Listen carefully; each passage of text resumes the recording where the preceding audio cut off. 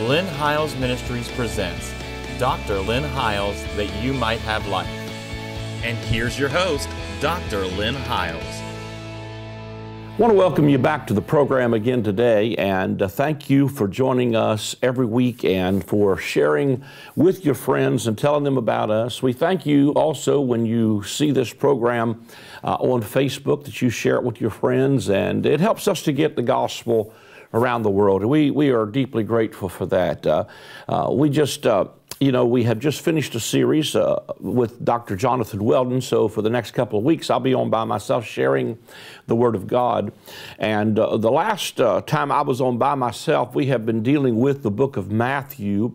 we're going to come back and we're going to touch the book of Matthew, chapter 8 today. If you want to get your Bible or your device or your computer, follow along with us. Uh, I believe you'll be blessed to join us.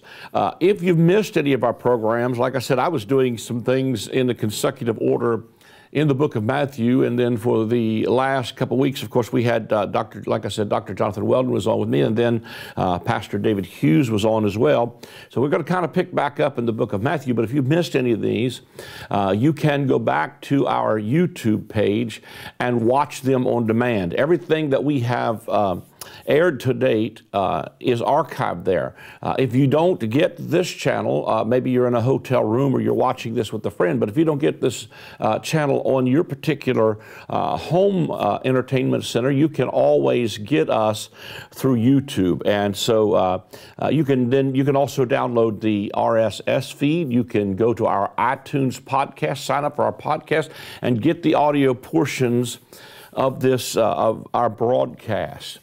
Uh, I want to say again how deeply grateful we are to you, our partners, who help us uh, financially to take the gospel of the kingdom and the gospel of His grace around the world. We're truly catching on on a global level. And uh, right as I film this, I am preparing, probably by the time this airs, I will have already returned from the Netherlands. And so this will be my first time in the Netherlands. And uh, an effectual door has been opened there.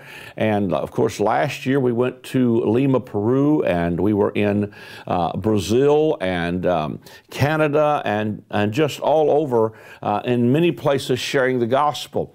It is your partnership that helps us be able to do that. And uh, you know, if you're able to help us, we, are deeply grateful for it. We believe God's able to lay it on the hearts of the people who are enjoying what we're saying uh, and that want to get behind what we're doing in order to help be a part of something big that's taking the gospel around the world. And uh, I'm certain we're not the only ones that are taking the gospel around the world, but I, I feel like we have a niche that the Lord has given us that's our assignment. And uh, uh your help to do that is really, like I said, deeply and greatly appreciated. Uh, uh, become a partner today. Consider becoming a partner with us in our ministry because uh, uh, I believe that you know, like I said, I believe it will uh, it will not only be a blessing to you, but it'll be a blessing to the nations of the earth. If you have your Bible, let's get in the Word um, this morning, and uh, we're going to begin by picking up in Matthew the eighth chapter. It said, when he was come down from the mountain, great multitudes followed him. Behold, there came a leper and worshipped him, saying, Lord, if thou wilt, thou canst make me clean.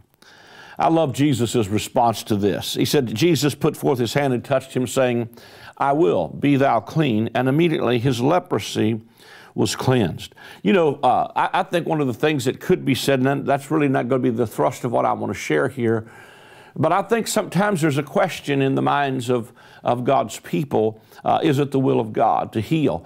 In my opinion, you know, everything Jesus paid for in his redemptive work is ours by inheritance.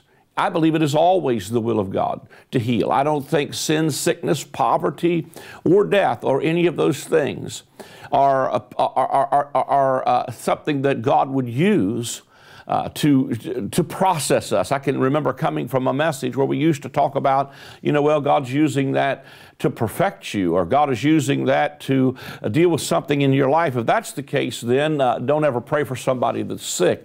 But I think here's the key answer when Jesus is asked by this leper, You can make me clean if you want to. And Jesus said, I will, be thou clean. I think that also is a great example of an effectual, fervent prayer. I think sometimes we think we've got to pray until our blood vessels uh, burst or we, we get high blood pressure. Uh, but Jesus simply speaks the word and the leper is cleansed. He really is in fulfillment of a lot of things that the prophetic prophets were declaring concerning him. He healed the sick, he raised the dead, he cast out devils. He literally is demonstrating what the kingdom looks like. He is demonstrating how the Father feels towards His creation in His heart uh, as He begins to reveal His, His whole purpose in ministry is to ease the suffering of the human condition. I really believe that salvation is more than just a deliverance from sin, and that's greatly a part of it. But I believe He came to deliver us from sin, sickness, poverty, and death. He was wounded for my transgressions. He was bruised for my iniquities. The chastisement for my peace was laid on him, by whose stripes we are healed. And so Jesus paid a price to be able to, uh, to give to us what is ours by inheritance, which part of it is healing. The heart of God, He just simply is showing His heart here, is to ease the suffering of the human condition. He came to cleanse the leper. That could be on so many levels, both spiritual and physical. He wants to deal the, with the leprosy of, uh, of, the, of the problems with our flesh. But God deals with this and, and gives this man a great miracle. I want to move on down because though, though the emphasis of what I want to share in this segment uh, is just below this in a few verses below that. And Jesus saith unto him, See thou tell it to no man, but go thy way show thyself to the priest and offer the gift that Moses commanded for a testimony unto them. Let me just make a few comments about that as well is that Jesus says, you know, I think it's pretty, it's kind of pretty cool. Mostly, if somebody had healed somebody like this, they don't want to be on CNN the next day or, uh, you know, or some television program again showing them. But Jesus says, don't, don't tell nobody. Probably he knew human nature and said, you know, if I tell them not to tell everybody, they're going to tell everybody they come across. Because I tell you, that would be a hard thing to keep hid would because you, you, you would see yourself and say, man, I had leprosy just a little while ago and look, I've been healed. And people, that to me uh, was, would be such a powerful powerful testimony of the power of God. But what I want to say also in this is that Jesus in Matthew, uh, in Matthew, Mark, Luke, and John, as we said in the segments whenever I, I was on uh, teaching with Dr. Weldon back some time ago about seeing God through the lens of covenant, Matthew, Mark, Luke, and John are in the New Testament, but they are still in the Old Covenant. Jesus is introducing the kingdom. He is introducing the life of the coming age to come that's out before them that would be part of a new covenant paradigm. And so when he tells this man, see, I don't think Jesus, if he were walking the planet today, and he healed a leopard or he, uh, you know, had healed somebody, I don't think he would tell you to go show yourself to the priest and then offer a sacrificial gift that Moses required. Uh, the sacrifice has already been made. But this man was up under an old covenant, and Jesus had just demonstrated what the kingdom is going to look like. And he's kind of like given free samples to demonstrate the kingdom, you know, in the earth. And, uh, and as he does that, uh, he tells him, you know, to follow through with what is the requirement of this particular covenant. But he's really transitioning them in their thinking. He's showing them a view of God that they have not had before. Uh, they've not, they, they, they picture God through this old covenant paradigm again, and they see him as this austere uh, old man sitting on a Victorian chair three miles south of Mars. I've been teaching quite a bit about seeing God through the lens of covenant because I, you know, there's a lot of people out there now that, you know, they almost want to throw away the validity of the scripture because it doesn't fit with their doctrine. Uh, but I believe the scripture's God breathed. I believe it's given by inspiration of God. I don't believe you have to throw out the scripture to try to explain God. I think you simply have to understand Him through the eyes of covenant. And I want to come back and just review a little bit of something, you know, that we talked about earlier uh, on the program back probably about four or five weeks ago. But what we don't understand is that there are probably at least at least five major covenants. There was the covenant God made with Noah, where He puts the bow in the cloud. There was the covenant that God made with Abraham.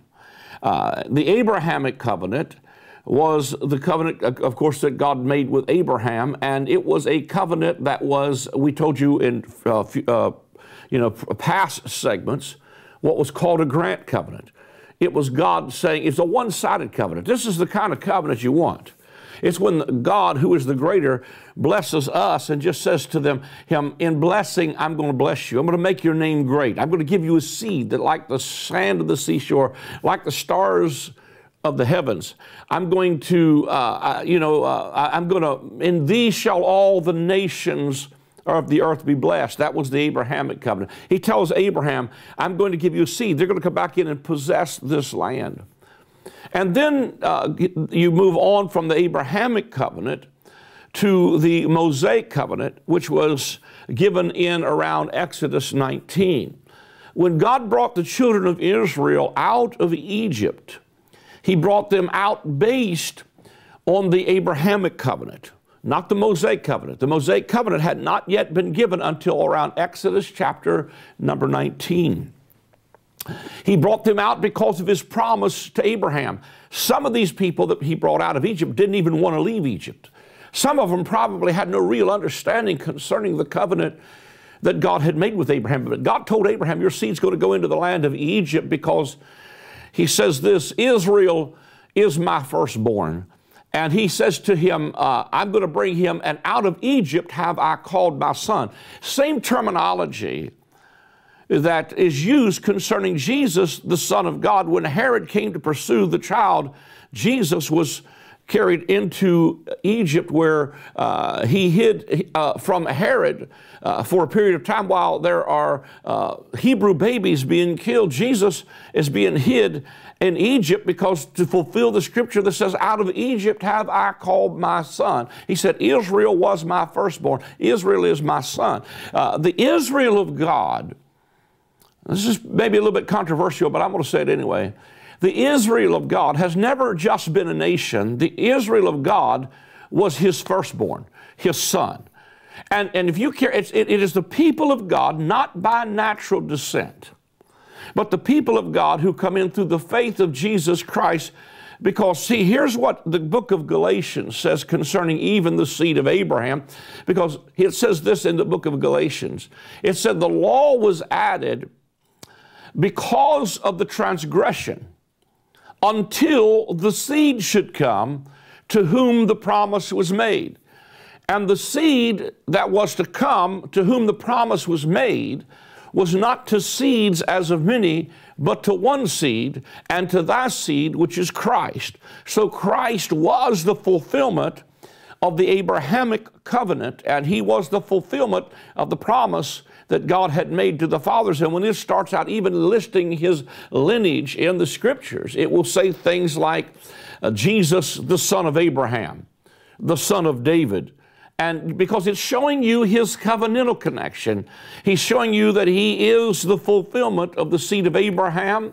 He is the fulfillment of the royal seed of David that would forever sit on the throne of his glory and rule his kingdom forever. That kingdom was not, he's not talking about the uh, one out of the, the loins of David in the sense of being a natural seed like somebody yet to come. Jesus is that royal seed of David that had the mandate uh, to sit on the throne. He's now seated forever, according to the book of Ephesians. He sat down at the right hand of God. He's reigning right now. He's the royal seed of David, and his kingdom is not a naturalistic kingdom any longer. It is a spiritual kingdom, and while it is spiritual, it affects everything that happens in the land. But the, the, the Davidic uh, covenant is not what I'm pushing right now. What I want you to see is that he said that the seed, that the, uh, that the law was added because of the transgression until the seed should come to whom the promise was made.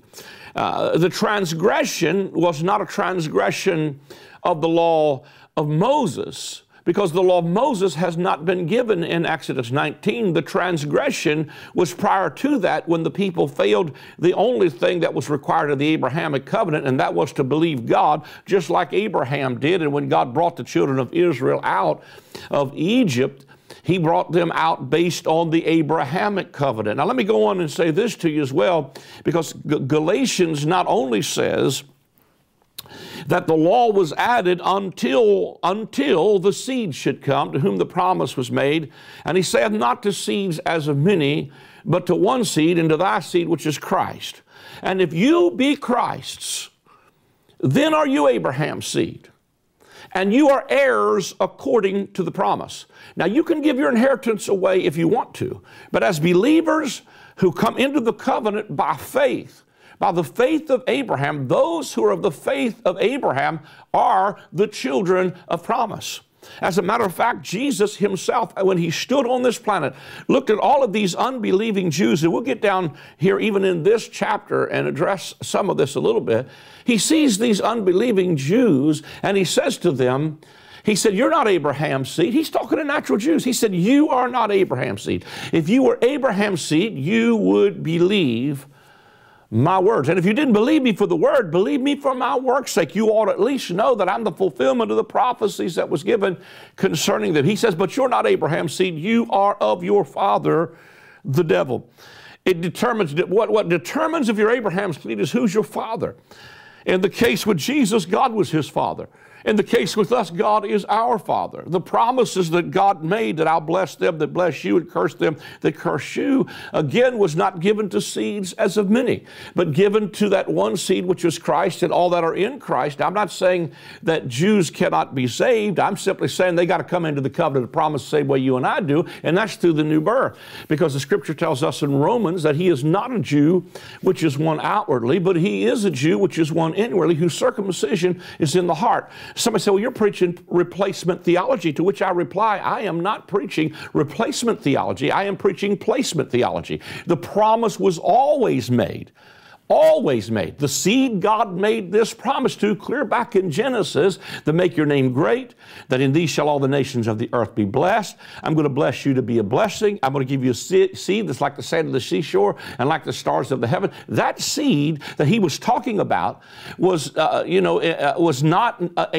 a physical, literal, it was it, thy seed, Galatians says, not seeds as of many, one seed.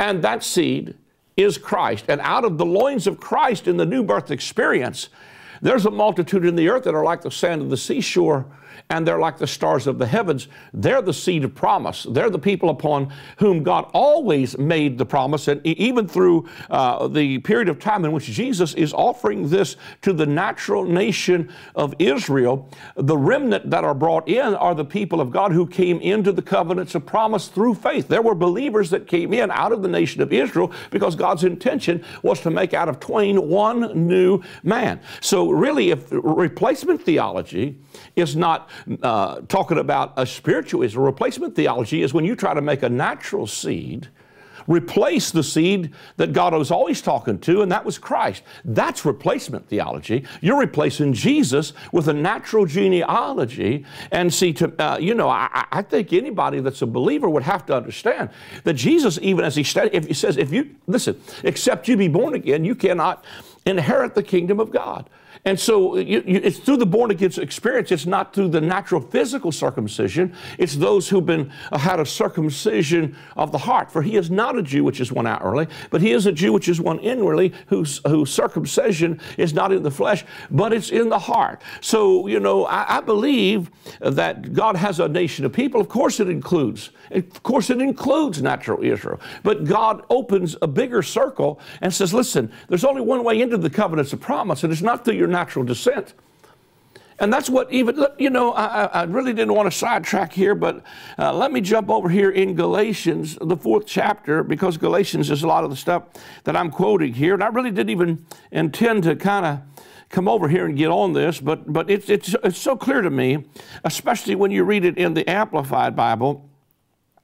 The latter part, it says, Tell me, this is verse 21, Galatians the fourth chapter. Tell me, you who are bent on being under the law, do you not listen to what the law really says? For it is written that Abraham had two sons, one by the slave woman, Hagar, and one by the free woman, which was Sarah.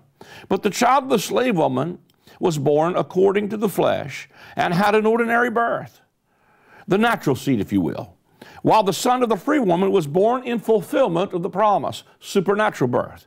Now, these facts are about to be used, uh, the, the apostle says, by me as an allegory. That is, I will illustrate by using them, for these women can represent two covenants.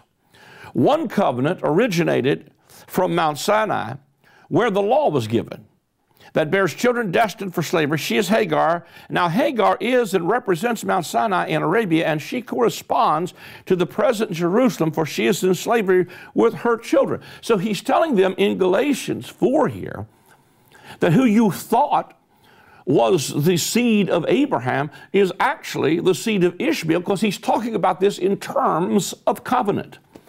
Seeing it through the lens of covenant. And he's saying that old covenant Mount Sinai is it corresponds to Hagar. Abraham had two sons, Hagar and Sarah. And Hagar corresponds to Sinai, that's the old covenant in Arabia, and he tells you that these things are an allegory that illustrate these two covenants. And one of them originated from Mount Sinai where the law was given, and she bears children destined for slavery she, she is Hagar. Now, Hagar is and represents Mount Sinai in Arabia, and she corresponds with, uh, uh, for she is in slavery with her children, but the, uh, and corresponds with the present Jerusalem. So, he, this is Paul in the first century telling you listen, this natural present Jerusalem, that is an old covenant people, are, uh, are, are, are not the promised seed. They are Ishmael and they are destined for slavery. And as long as you remain under law and under an old covenant paradigm, you are Hagar, Mount Sinai, that's where the law was given, in Arabia, and you are still in bondage as a slave. Because under the old covenant, we were slaves, but in the new covenant, we are sons. And if we're sons, then we're heirs. But he goes on to say, but the Jerusalem uh, above, that is the way of faith, represented by Sarah, is free, and she is our mother, for it is written in the scriptures Re- Rejoice, O barren woman who has not given birth, and break forth into a joyful shout, you who are not in labor. For the desolate woman has many more children than she who has a husband. And we, believing brothers and sisters like Isaac, are children not merely of physical descent, like Ishmael was. We're not from the natural descent but our, our children born of the promise, born miraculously. He's telling you that the real seed of Abraham that was promised clear back in Genesis was not the natural seed given by a natural birth, by natural genealogy that is still to this day in bondage with her children, and she is uh, she is Hagar in Mount Sinai in Arabia. But we brothers who are believers, we believing brothers, are the children, uh, we, we like Isaac are children not merely by physical uh, descent, like Ishmael, but are children born of the promise. We were born miraculously. But as at that time the child of the ordinary birth, born according to the flesh, persecuted the son who was born according to the promise and the working of the Spirit, so it is now. But what does the scripture say? Cast out the bondwoman, Hagar, and her son Ishmael for never shall the son of the bondwoman be heir and share the inheritance with the son of the free woman. Now, here's Paul talking to the Galatians in the first century, and he's saying, Listen, folks, you got a lot of your sights set on natural Jerusalem and the natural seed. He said, But she will, watch this, never be heir with the child of promise. Because there's no other way into the covenant of promise other than through the supernatural birth, just like Isaac was in fulfillment not of what your flesh or your natural effort can produce, but in fulfillment of the promise. He goes on to say, So then, believers, we who are born again, reborn from above, spiritually transformed, renewed, and set apart for His purpose, are not children of a slave woman, the natural, but of the free woman, the supernatural. I don't, I don't know how much clearer you can get when you, when you read these kinds of verses. That is about as clear as I know how to make it. How uh, you can manipulate that to mean anything other than what is saying here that the supernatural birth was the seed to whom the promise was made. And you and I, as believers, as a part of the messianic kingdom of Christ, as the new covenant, are not on Mount Sinai, we are in Mount Zion. What does Hebrews, uh, the 12th chapter, say? He said, For you did not come to blackness and darkness. You did not come to a God who says, stay away, but you've come to Mount Zion and you've come to the city of the living God. So when God brought the children of Israel out of Egypt, He brought them out based on the Abrahamic promise that He would bring these people back out of this out of this Egypt into this promised land. Now, while they did return even into that physical promised land, when we get over to the book of Hebrews, uh, the Bible begins to shift again in Hebrews, and he tells you in Hebrews, the fourth chapter, let us therefore fear lest a promise being left of us of entering into his rest, any of you would seem to come short of it. For unto us was the gospel preached as well as unto them, but the word preached did not profit them, not being mixed with faith. They did not enter into his rest. And so he talks about this promised land in Hebrews 4, but this promised land is more than just a piece of real estate. It is rest in the finished work of Jesus Christ. Jesus is the fulfillment of the land promise. For in Christ, all of God's promises are yes and amen. And if you are in Christ, then you are a land that flows with milk and honey. He talks about the promise again in uh, the book of Acts. He said, Go to an upper room and wait for the promise of the Holy Spirit. Uh, the promises are in Christ. All of the promises God made to Abraham and to David of the covenant are find their fulfillment in Christ, who is our, our promised seed. He is our promise of a king to reign. He is the promise of everything. And because we are in Christ, then we have access not to just a piece of real estate, but we have in Christ, all of God's promises are yes and amen. So that we also have access to all of God's promises. And I believe, as a people of a holy nation in the earth today, that God purposes and intends for us to be what he wanted that first nation of Israel to be when he brought them out of Egypt. And that is, he wanted them to be an entire nation of priests where everybody had personal relationship with God and where everybody could have access to the glory of God and could uh, minister to God and then minister God to the people. They were to be his priest in the earth. Peter grabs that in the book of Peter. He said, But you're a chosen generation. You're a royal priesthood. God restores us back to the priesthood. He's talking to the, the, the, the seed of Abraham through Christ that we are blessed to be a blessing. Well, we're about to run out of time, but don't give your inheritance away. Know who you are. Uh, you're the seed of Abraham and you're blessing. Uh, we're just about to run out of time again, uh, and Amanda just goes by so fast. But if you'll take a moment to call that number on the screen or go to the email, go to our website. It's the easiest way to give. And there's a place where you can put your credit card in or your debit card and give if you'd like to do that. If you'd like to become a partner, you can set it up to give uh, with automatic debit. Uh, we do covet your prayers. We appreciate uh, you standing standing with us in what the Lord has called us to do. Be a part of that with us, and I believe the Lord will reward you greatly for it. Tune in again next week at the same time. God bless you for joining us this week. The word repentance means to change your mind. The message of John the Baptist and of Jesus was to repent, for the kingdom of God is at hand. The kingdom of God is accessed by a change in our thinking. If you are in outer darkness, there is weeping and wailing and gnashing of teeth. That reality is not always out in the distant future, it is in people's lives right now. One simple mind shift can move you out of darkness and weeping and into light and rejoicing. God wants to wipe all tears from our eyes and replace our weeping with joy.